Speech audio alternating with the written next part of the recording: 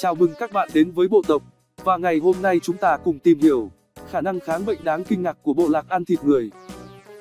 Tục ăn thịt đồng loại của một bộ lạc người Papua New Guinea từng khiến cộng đồng này phải đối mặt với sự hoành hành của một căn bệnh não gây chết chóc có tên gọi là Kuru. Tuy nhiên, hiện tại, một số thành viên trong bộ lạc được phát hiện đang mang trong cơ thể một gen dường như đề kháng bệnh Kuru và cả bệnh bò điên. Theo một nghiên cứu mới, theo báo cáo nghiên cứu đăng tải trên tạp chí Nature, một bộ lạc ở Papua New Guinea có tên gọi người For từng có tục lệ ăn não người trong một nghi lễ mai táng.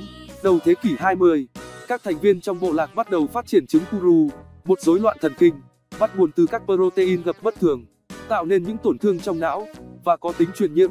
Prion, đây là thời điểm khởi phát dịch Kuru trong bộ lạc người For. Dịch lên đến đỉnh điểm vào những năm 1950, cướp đi sinh mạng của 2% dân số bộ lạc mỗi năm. Đến cuối những năm 1950, người pho ngừng tập tục ăn thịt đồng loại, dẫn đến sự suy thoái của bệnh Kuru.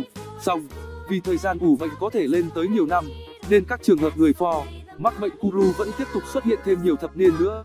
Gần đây, các nhà nghiên cứu khám phá ra rằng một số người sống sót qua dịch Kuru mang một đột biến gen có tên gọi V127, trong khi những người phát triển bệnh Kuru không có đột biến này. Điều đó khiến họ nghi ngờ chính V127 cung cấp khả năng đề kháng căn bệnh não nguy hiểm. Trong nghiên cứu mới, các nhà khoa học đã biến đổi di truyền những con chuột để chúng mang đột biến gen V127, rồi tiêm vào cơ thể chúng các prion truyền nhiễm. Kết quả cho thấy, những con chuột mang một bản sao V127 đã chống chịu được bệnh Kuru cũng như một căn bệnh tương tự, bệnh Creutzfeldt-Jakob cổ điển. Ngoài khả năng đề kháng các bệnh này, những con chuột mang hai bản sao V127 còn chống chịu được một căn bệnh prion khác, bệnh Creutzfeldt-Jakob biến thể hay đôi khi còn được nhắc tới như bệnh bò điên ở người. Mặc dù việc chấm dứt tục ăn thịt đồng loại đã giúp người Pho giảm số trường hợp mắc bệnh Kuru, nhưng các nhà nghiên cứu nhận định, nếu bệnh còn tiếp tục lây lan, bộ lạc này vẫn có thể tái phục hồi dân bằng các cá nhân kháng bệnh. Một điểm quan trọng cần lưu ý là, tập tục ăn thịt đồng loại không trực tiếp dẫn tới việc phát triển khả năng đề kháng bệnh Kuru. Thay vào đó, đột biến kháng bệnh nhiều khả năng đã tồn tại trong cộng đồng người Pho trước dịch Kuru, nhưng nó trở nên phổ biến hơn nhiều khi cung cấp lợi thế di truyền, giúp những người mang đột biến sống sót qua sự hoành hành của căn bệnh não nguy hiểm. Sự chọn lọc các đặc tính di truyền như vậy là nền tảng của quá trình tiến hóa.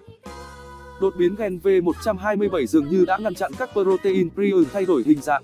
Các nhà nghiên cứu hy vọng, việc biết rõ chính xác cách đột biến này kháng bệnh ra sao, có thể giúp tìm ra cách chữa trị hữu hiệu mới đối với các bệnh prion. Cảm ơn các bạn đã theo dõi video. Hẹn gặp các bạn ở những video kế tiếp.